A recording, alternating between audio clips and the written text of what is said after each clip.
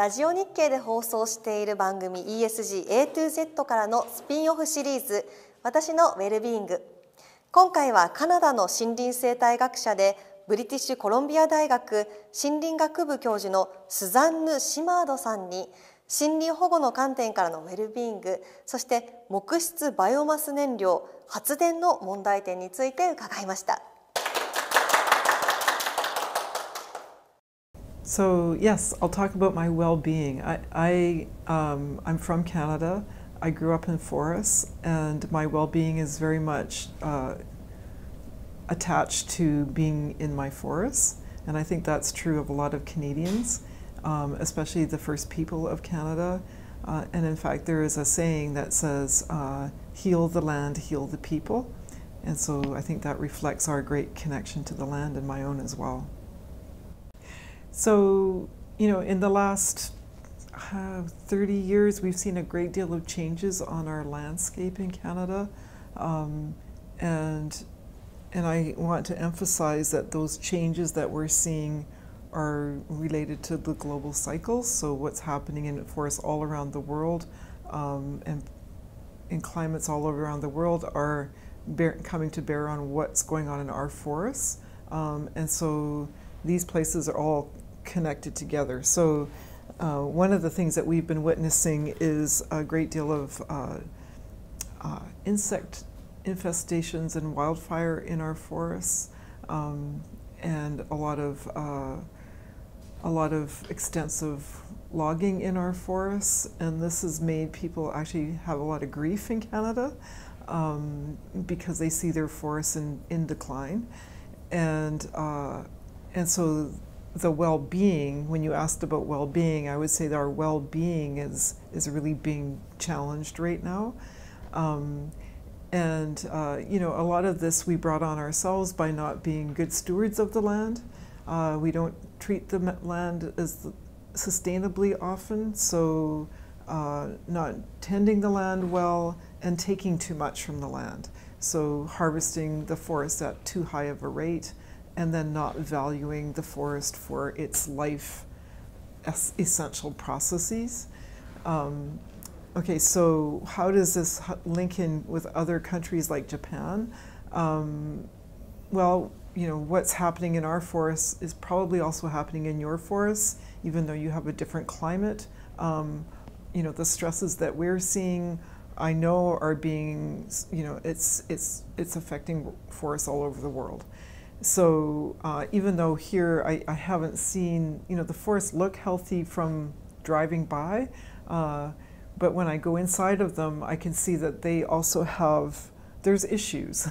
um, so, you know, the forests are quite simplified, for example. Our forests in Canada are as well. It's through management practices.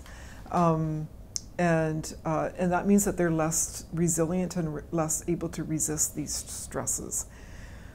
So the reason that I came to Japan is because, um, you know, J Japan and many other countries all around the world are looking to change their energy sources from fossil fuels or nuclear power, in the case of Japan, to renewable energy.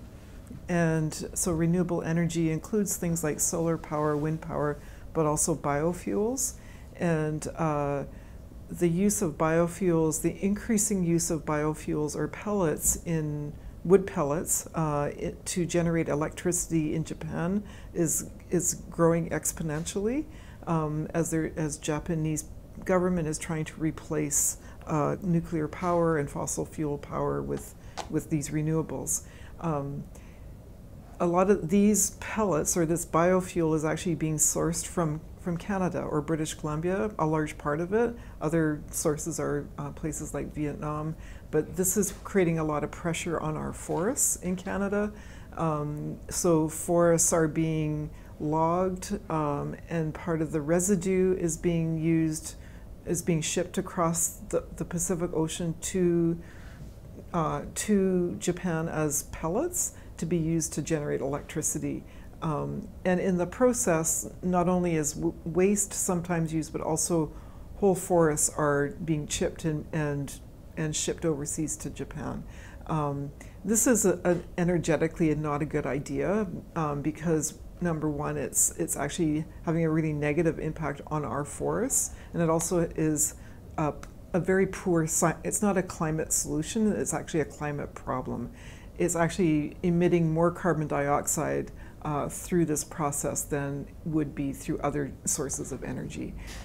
And so I'm I'm coming here to talk to you know to talk to you to the, people of Japan to say there's got to be a better way because um, uh, that is more efficient, a better, more efficient sources of energy than biofuels, which are very, very low efficiency.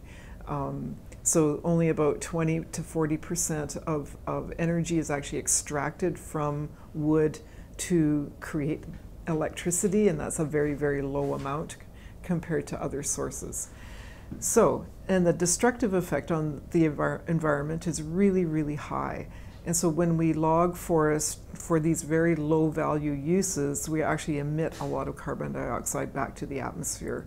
Um, and so it's it's it's uh, it's actually very dig, it's, it's actually deg degrading to the to the environment. A lot of these uh, forests that are being logged are actually primary forests.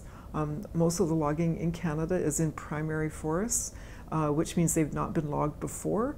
Um, and so they have a lot of high biodiversity and carbon stocks in them.